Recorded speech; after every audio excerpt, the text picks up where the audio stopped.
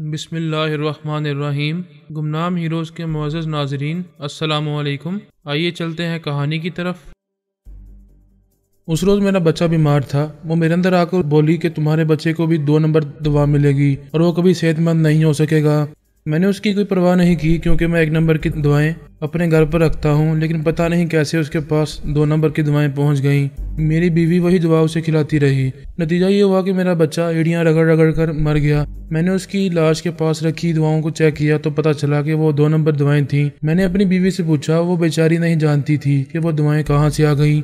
मैंने अपने अंदर फिर उसकी आवाज़ सुनी। वो कह रही थी कि अभी तुमने सबक हासिल ना किया तो बहुत बुरा अंजाम होगा। तुम्हारा दूसरा बच्चा भी मारा जाएगा, तुम्हारी बीवी भी मारी जाएगी। पनवारी ने कहा, मुझे यकीन नहीं आता कि तुम्हारे बच्चे के पास रखी हुई दवाएँ आप ही आप बदल गई थी। तुम्हारी बीवी से कोई गलती हुई होगी। तुम ख्वा मखा किसी बला से डर रहे हो। अगर वो कोई बला है तो फिर मेरे अंदर क्यों नहीं आती? मैं भी तो गलत धंधा कर रहा हूँ। गलत दवाएँ फरोख्त करके कितने ही अस्पतालों में पहुँचा रहा हूँ।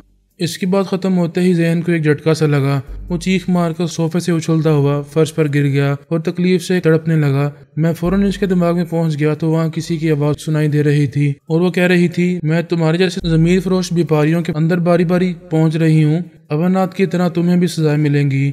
इस वक्त रात के तीन बजे हैं, कल दिन के बारह बजे तक तुमने तमाम अस्पतालों में सप्लाई की हुई दवाएँ वापस ना ली और इनकी जगह एक नंबर की दवाएँ ना पहुंचाई। तुम्हारी बीवी बच्चे भी गलत दवाओं के इस्तेमाल से एड़ियाँ रगड़ रगड़ कर मरेंगे। वो परेशान होकर बोला, अरे, ये तो मेरे अंदर भी बोल रही है। अभी मेरे दिमाग को ऐसा झटका लगा था जैसे किसी ने बिजली का झटका पहुँचाया हो। इसके बाद मैं भी उसकी आवाज़ सुन रहा हूँ, वो मुझे भी चैलेंज कर रही है। अरे ओ अमरनाथ के बच्चे, तू किस बुलाव को मेरे घर ले आया? अमरनाथ ने दोनों हाथों से सर थाम कर कहा, बुलाव को हम नहीं बुलाते, बल्कि हमारे अमाल बुलाते हैं। हम जैसा करते हैं, वैसा ही भरते हैं।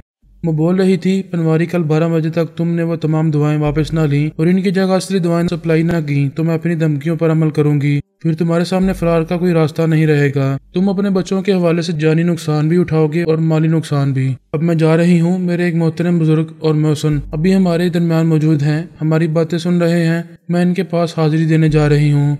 मैं इसकी बातें सुन रहा था और हैरान हो रहा था कि ये कौन टेलीपैथी जाने वाली है, जिसे मैं नहीं जानता, ये अचानक कहाँ से नमदार हो गई। अभी मैं सोच रहा था कि एकदम से चौंक गया, अपने अंदर उसकी आवाज़ सुनी।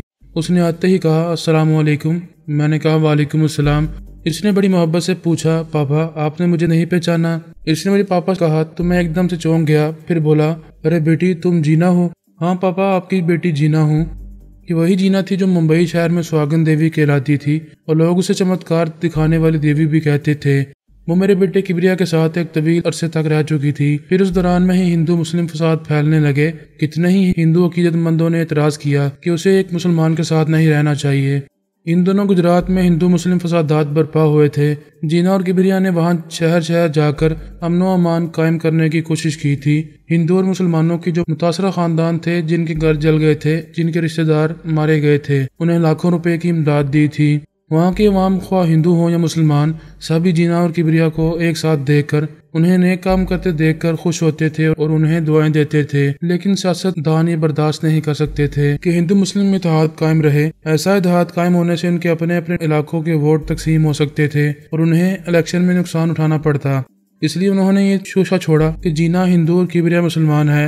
आखिर किस रिश्ते से एक साथ रहते हैं? बहुत से हिंदू गैरत में आ गए कि उनकी एक हिंदू लड़की को किसी मुसलमान के साथ नहीं रहना चाहिए। इन दिनों जीना के अंदर कुछ गैर मामूली तब्दीलियाँ हो रही थी। किबरिया ने उसके हालात, हरकत सकनात को देखते हुए कहा, शायद तुम गैर मामूली सलाहियतें हासिल करने वाली हो।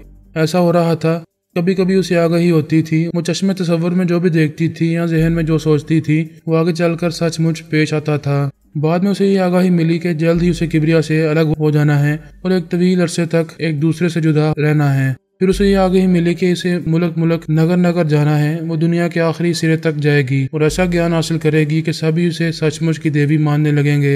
ऐसी आगही हासिल होने के बाद वो एक दिन किबरिया से बिछड़ गई। हिंदुस्तान की बड़ी बड़ी तरबियत गाहों और मंदिरों में जाने लगी। कभी वहाँ के किसी बड़े आश्रम में जाकर ज्ञान में मसरूफ हो जाती और कभी ईसाइयों और कभी यहूदियों की इबादत गाहों में जाती थी और वहाँ की तरबियत गाहों में जाकर इन मज़हब के मुतालिक इलम हासिल करती थी। फिर वो अमरीका तक गई वहाँ भगवान राजरेश का एक बहुत मशहूर और मरूफ आश्रम है। वहाँ योगा की मशक़ें कराई जाती हैं और आत्मशक्ति हासिल करने की तरबियत दी जाती है।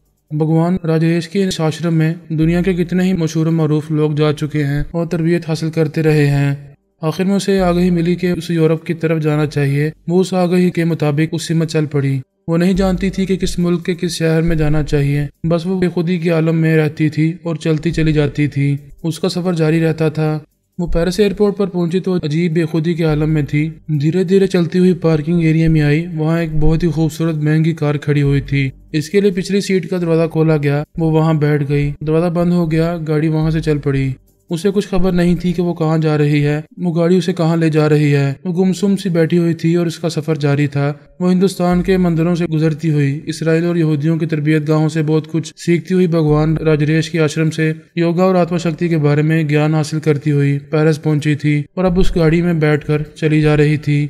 एक तवील सफ़र के बाद वो गाड़ी एक बहुत बड़े आहनी दरवाजे के आगे रुक गई। पिछली सीट का दरवाज़ा खुल गया। जब वो गाड़ी से बाहर निकली तो वो आहनी दरवाज़ा खुलने लगा। वो खुली आँखों से मंदिर देख रही थी, लेकिन समझ नहीं पा रही थी कि कहाँ है और कहाँ पहुँच गई है। जब वो इस गेट की दहलीज पर आई तो उसे अपने अंदर भारी भरकम, लेकिन बहुत ही शवीक आवाज़ सुनाई दी। बेटी, बिस्मिल्लाह पढ़कर अपना दाएँ पाँव अंदर रखो। उसने जेरेला बिस्मिल्लाह कहा, फिर दाएँ पाँव अंदर रखा। उसके साथ ही वो बाबा साहब के दायरे में दाखिल हो गई। वो दुनिया की पहली हिंदू लड़की थी, जिसे उस इस्लामी दायरे में दाखिल होने का शरफ हासिल हो रहा था। इस वक्त मैं होटल के कमरे में बैठा हुआ था। वो मेरे अंदर पहुँची हुई थी और अपने मुख्तर हालात बयान कर रही थी। मैंने कहा, तुम यहाँ मरनात और अपनवारी को इनकी बेईमानी और मुनाफाखोरी की सजाएँ दे रही हो। इसका मतलब है कि तुम बाबा साहब के दायरे से वापस आ गई हो। नहीं, मैं मुंबई में पैदा हुई थी। मुझे इस शहर और इस शहर के लोगों से बहुत मोहब्बत है। जब भी थोड़ा बहुत वक्त मिलता है तो मैं यहाँ ख्याल खोनी के ज़रिए पहुँच जाती हूँ। कोशिश करती हूँ कि मेरे लोगों को कोई मुसीबत ना आए और अगर आए तो मैं किसी तरह इन्हें मुसीबतों से निजात दिलाती रहूँ। मैं अमरनाथ और पनवारी के दिमागों में रहकर तमाम बातें सुन रहा था, लेकिन खामोश था। मैंने अपनी आवाज़ नहीं सुनाई, मेरी सोच की कोई लहर इनके अंदर नहीं उभरी, फिर तुमने कैसे पहचान लिया कि मैं वहाँ मौजूद हूँ? वो मेरे अंदर एक गहरी सांस लेकर बोली, मैं कैसे बताऊँ कि कैसे पहचान लिया? मैं तो जनाब अली असदुल्ला तबरेजी के कदमों की खाक हूँ और ये ज्ञान हासिल कर रही हूँ कि खाक होकर, फना होकर भी रूहानियत के मराहल से गुजरा जा सकता है और मैं गुजर रही हूँ। जनाब तबरेजी के साय में रहकर आइंदा चालीस महीनों तक मुख्तलि मराहल से गुजरती रहूँगी। क्या इसके बाद लौट आओगी? हाँ जनाब तबरेजी फरमाते हैं कि मैं रूहानियत के तमाम मराहल से नहीं गुजर सकूँगी, क्योंकि मेरे अंदर दुनियादारी की भी लगन है। इसके अलावा मैं पैदाशी हिंदू हूँ, यहूदी और ईसाइयों के मज़हब समेत दुनिया के तमाम मजाहब को मानती हूँ। ये यकीन से कहती हूँ कि दुनिया के तमाम मजाहब इंसानों को ज़िंदगी गुजारने के बेहतरीन तौर तरीके सिखाते हैं। मैं पहले इंसानों से मोहब्बत करती हूँ, इसके बाद फिर किसी हिंदू, सिख, ईसाई, यहूदी और मुसलमान को मानती हूँ और इन सब की इज़्ज़त करती हूँ। मैंने पूछा ताजुब है? जब तुम पूरी तरह दीन इस्लाम की तरफ़ माइल नहीं हो और तमाम मजाहब को यकसा तौर पर मानती हो तो फिर तुम्हें बाबा साहब के दायरे में किस तरह जाने दिया गया? इसका जवाब मैं नहीं दूँगी। आप मेरे अंदर आकर मेरे ख्याल पढ़ लें। मैं दूसरे ही लम्हे में ख्याल खानी की प्रवास करके उसके अंदर पहुँच गया, उसके ख्याल पढ़ने लगा। ये बयान किया जा चुका है कि वो पैदाइशी तौर पर सदा सुहागन थी, यानी ना तो लड़की थी, ना ही लड़का थी, लेकिन जवान होते होते वो खुद को एक लड़की की हैसियत से पसंद करने लगी थी। वो ऐसी जहनी तौर पर थी, लेकिन जिसमानी तौर पर ऐसी नहीं थी कि किसी से शादी करके अजदवाजी ज़िंदगी गुजार सकती। जब वो बच्ची थी, तब ऑपरेशन के ज़रिए उसे लड़की बनाया जा सकता था, लेकिन उसके माँ बाप बहुत गरीब थे, ऑपरेशन के अखराज बर्दाश्त नहीं कर सकते थे। जब वो जवान हुई और सुहागन देवी कहलाने लगी। लोग अकीदत से उसे पूजने लगे थे। वो माली तौर पर मुस्तकम होने लगी, फिर किबरिया मुख्तलिफ़ जराये से लाखों करोड़ों रुपयों की मदद करता रहा। ऐसे में वो ऑपरेशन करवा सकती थी, खुद को लड़की बना सकती थी, लेकिन उसने ऑपरेशन से इनकार कर दिया था। रफ्ता रफ्ता उसे आगाही मिलने लगी थी कि एक दिन वो कुदरती तौर पर लड़की बन जाएगी। कब और कैसे बनेगी, ये नहीं जानती थी, लेकिन यकीन था कि इसे जो आगाही मिलती है, वो एक दिन ज़रूर साबित होती है। और अब वो वक्त आ रहा था, जनाब तब्रेजी जानते थे कि एक दिन जीना और किबरिया अजदवाजी रिश्ते में मुंसलिक होंगे और जीना के ज़रिए मेरी नस्ल आगे बढ़ेगी। जनाब तब्रेजी उससे पहले अल्पा पर मेहरबान थे। अगरचे वो इन दिनों हमारी बदतरीन दुश्मन बनी हुई थी, लेकिन वो जानते थे अल्पा के ज़रिए ही मेरी नस्ल आगे बढ़ेगी। और यही हुआ था, मुझे अनुषे जैसी खूबसूरत पोती मिली थी। अल्पा यहूदी थी और अब भी उसे यहूदियत से लगाव था। इसी तरह जीना हिंदू थी और आइंदा भी उसे हिंदू धर्म से लगाव रहेगा। अल्पा ने कभी बाबा साहब के दायरे में कदम नहीं रखा था। जीना को भी वहाँ कदम रखने ना दिया जाता, लेकिन मसला इसके सदा सुहागन का था। उसे तब्दील होना था और वो तब्दीली बाबा साहब के दायरे में होने वाली थी। उसे 40 माह तक तिब और रूहानियत के मराइल से गुजरना था। एक तरह से यूँ कहा जा सकता है कि जीना वहाँ जेर इलाज थी और इलाज मुकम्मल होने के बाद अपने देश वापस आने वाली थी।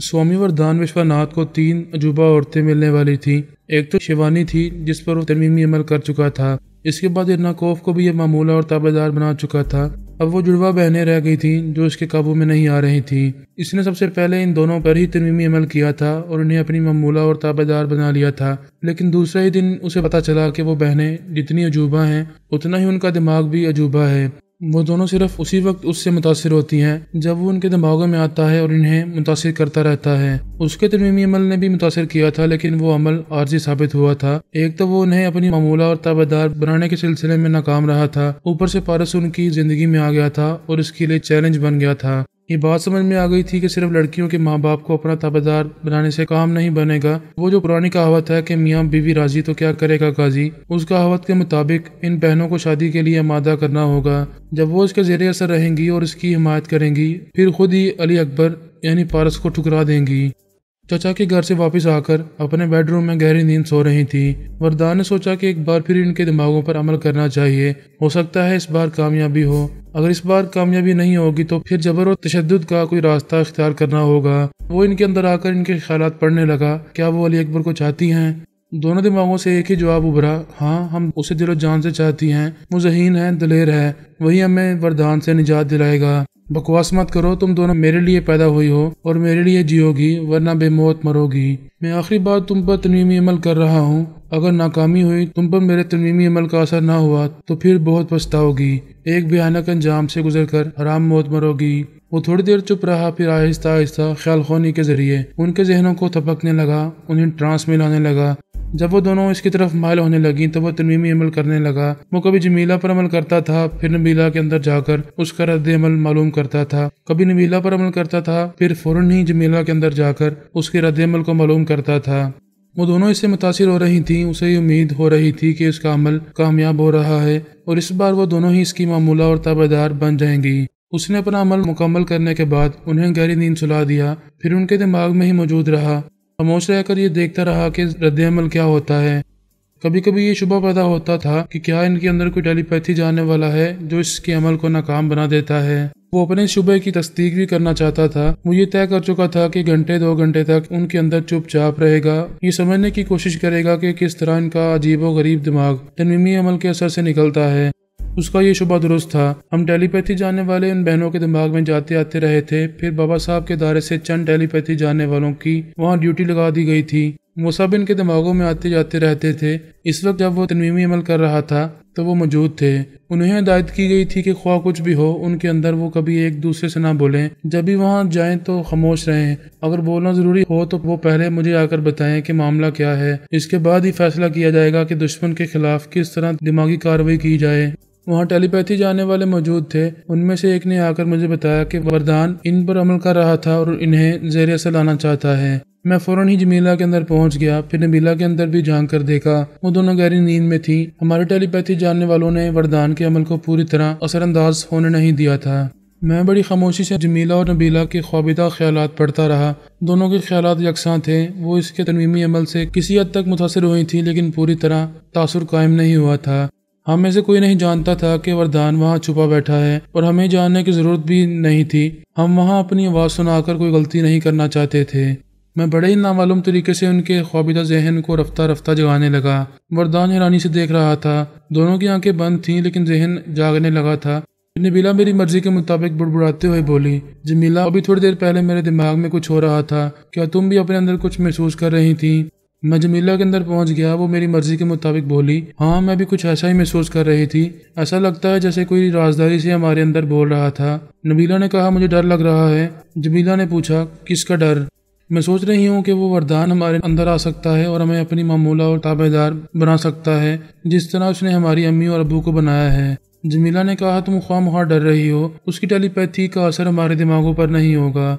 हमें अल्लाह ताला ने जिस तरह अजूबा बनाया है, इसी तरह हमारे दिमागों को भी अजूबा बनाया है। वरदान इनकी बातें हैरानी से सुन रहा था और ये समझ रहा था कि वो नींद में बुड़बुड़ा रही हैं। फिर इसने सोचा, जब दो सोने वाले नींद में बुड़बुड़ाते हैं तो बुड़बुड़ाने के दौरान एक दूसरे की बातों का जवाब नहीं देते। ऐसा कभी नहीं होता, लेकिन ये दोनों तो एक दूसरे की बातों का जवाब दे रही हैं, जबकि ये गहरी नींद में है। वैसे ये बात उसकी समझ में आ गई कि वो बहनें दो अलग वजूद रखने के बावजूद एक हैं, जहन भी एक दूसरे से मुतासर हैं और एक दूसरे के खिलाफ नहीं सोचते। जो ये कहती है, वही वो कहती है। इसलिए नींद की हालत में भी वो एक जैसी बातें सोच समझ रही हैं, एक दूसरे से बोल रही हैं। उसने तनवीमी अमल करने के बाद उन्हें गहरी तनवीमी नींद सोने का हुक्म दिया था। उन्हें अपने आप से बेखबर होकर सोना चाहिए था, लेकिन वो नींद में भी बुड़बुड़ा रही थी। ये शुबह हो रहा था कि शायद तनवीमी अमल कामयाब नहीं हुआ है। वो तकरीबन डेढ़ घंटे तक खामोश रहने के बाद बोलने पर मजबूर हो गया। उसने जमीला के दिमाग में कहा, मैं तुम्हारा आमिल बोल रहा हूँ और हुक्म दे रहा हूँ कि नींद में बुड़बुड़ाने की कोई ज़रूरत नहीं है। खामोशी से तनवीमी नींद पूरी करती रहो। ऐसे वक्त जमीला ने मेरी मर्ज़ी के मुताबिक हर बढ़ाकर आँखें खोल दी। उसके साथ नबीला की आँख भी खुल गई। दोनों ने एक दूसरे को देखा, फिर जमीला ने कहा, अभी मैं अपने दिमाग में वरदान की आवाज़ सुन रही थी। वो बोला हाँ मैं बोल रहा हूँ। तुम्हें हुक्म दे रहा हूँ कि गहरी नींद सो जाओ। वो बोली, क्यों सो जाऊँ? तुम हमें हुक्म क्यों दे रहे हो? क्या तुम हमारा पीछा नहीं छोड़ोगे? नबीला ने परेशान होकर पूछा, क्या बात है? क्या वो तुम्हारे अंदर बोल रहा है? वरदान ने उसके अंदर आकर कहा, मैं भी जमीला के अंदर बोल रहा था और तुम्हारे अंदर भी बोल रहा था। मैंने तुम दोनों पर तनवीमी अमल किया था। तुम्हें गहरी नींद सो जाना चाहिए था, फिर क्यों जाग रही हो? खुद आकर जगाते हो और पूछ रहे हो कि हम क्यों जाग रही हैं? क्यों हमारी नींद हराम कर रहे हो? क्यों हमारे पीछे पड़ गए हो? खुदा के लिए हमारा पीछा छोड़ दो। उसने जो जलाकर इनमें से एक के अंदर जलजला पैदा किया, हम उसकी दुश्मनी को जवाब देने के लिए तैयार बैठे थे। इन दोनों के दिमागों पर मजबूती से कब्जा जमा रखा था। हमारी मर्ज़ी के मुताबिक इनके अंदर एक जुरजुरी सी पैदा हुई, फिर जमीला ने हैरानी से पूछा, नबीला, क्या तुम्हें अपने अंदर जुरजुरी सी महसूस हुई है? हाँ भी मैंने महसूस किया है, ये वरदान ही हमारे दिमागों में कुछ कर रहा है। हमें आयतुल कुर्सी पढ़ते रहना चाहिए। इसके बाद ही दोनों आयतुल कुर्सी पढ़ने लगी। वरदान हैरान परेशान था। इसने फिर एक बार जलजला पैदा करने की कोशिश की और नाकाम रहा। दिमागी तौर पर अपनी जगह हाजिर होकर जुन जलाने लगा। ये समझने की कोशिश करने लगा कि ख्याल खानी की लहरें इन जुड़वा बहनों को मुतासर क्यों नहीं कर रही हैं? वो पिछले कई घंटों से इनके दिमागों में मौजूद रहा था। इन पर तरमीमी अमल भी किया था। इसके बाद भी खामोशी से इस बात का इंतज़ार कर रहा था कि शायद कोई टेलीपैथी जानने वाला वहाँ आता होगा, लेकिन उसने किसी प्राइस की लहरों को नहीं सुना था। इस वक्त सुबह के चार बज रहे थे। उसकी अकल ये समझा रही थी कि कोई भी टेलीपैथी जानने वाला तमाम रात इनके दिमाग में नहीं रह सकता। अगर कोई रह भी रहा है, इनकी निगरानी कर रहा है तो आखिर कब तक निगरानी करता रहेगा? क्या वो चौबीस घंटे इनके अंदर मौजूद रहता होगा?